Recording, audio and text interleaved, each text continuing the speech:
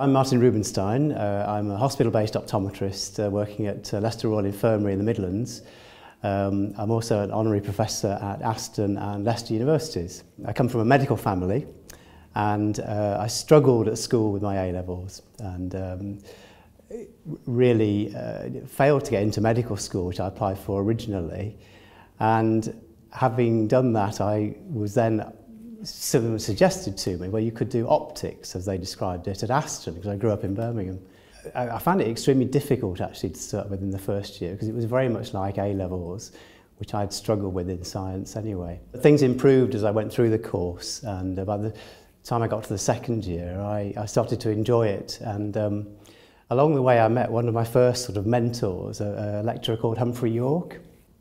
Um, And he looked after me in the first year and got me through that into the, the more clinical area in, in the second year. And uh, from then onwards, things just improved for me and I found things that I enjoyed and was interested in. I finished at, at Aston and I, because I was always interested in doing medicine, um, I, it, it was a fairly obvious thing to me to consider doing a hospital pre-reg. So I applied for several jobs and um, I took a job at Cheltenham General Hospital They didn't tell me this at the interview, but the pre-reg was actually expected to teach uh, student orthoptists, and you just got landed with this job from the second week. And actually, I, I'd never done teaching before, and I really enjoyed doing that. It was absolutely ideal, and uh, I, I thoroughly enjoyed that year. So that was my beginning in hospital optometry. eventually qualified, uh, but I really wasn't quite sure what I wanted to do. Uh, I really enjoyed the hospital optometry uh, pre-reg,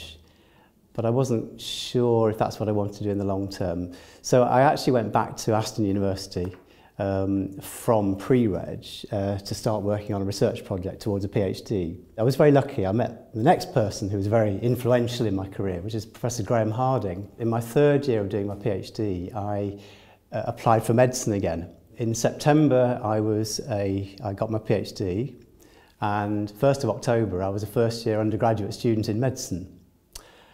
And I had the most dreadful year in Leeds. It was absolute chaos and it was awful and it was just like going back to the A-level stage again and it just didn't work. And uh, decided, well, I need to get back to optometry. I, I went to Colchester Hospital for four years. Um, and at the same time as working in Colchester, I had a secondment to Moorfields Eye Hospital in London. So I was at Colchester for so on average about three or four days a week and then one or two days a week at Moorfields in London uh, which again was a, a very important thing in terms of my career, particularly going up to Moorfields. I met a lot of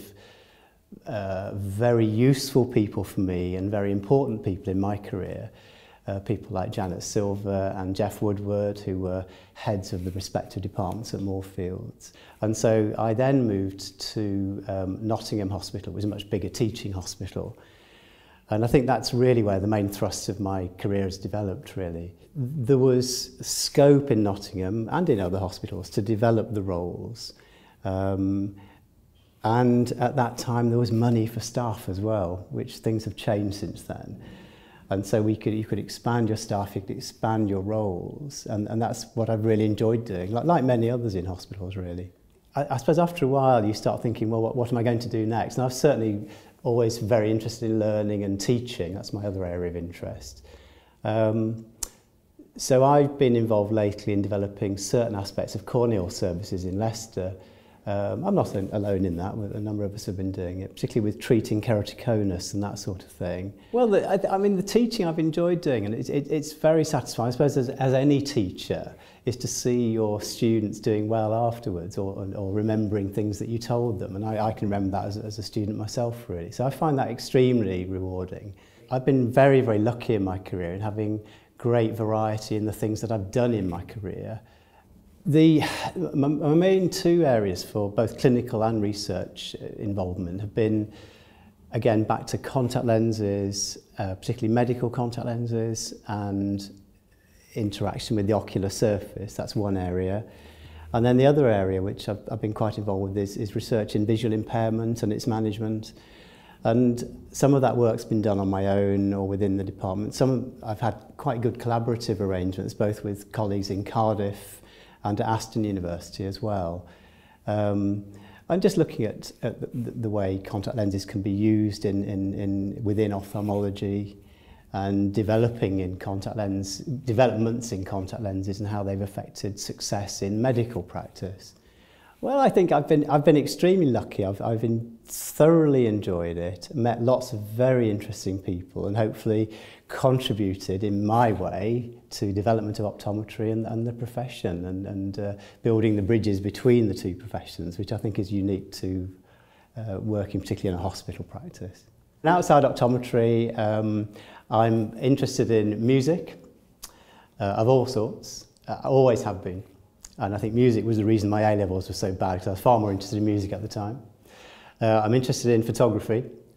Uh, I'm interested also in uh, gardening. I'm not interested in sport.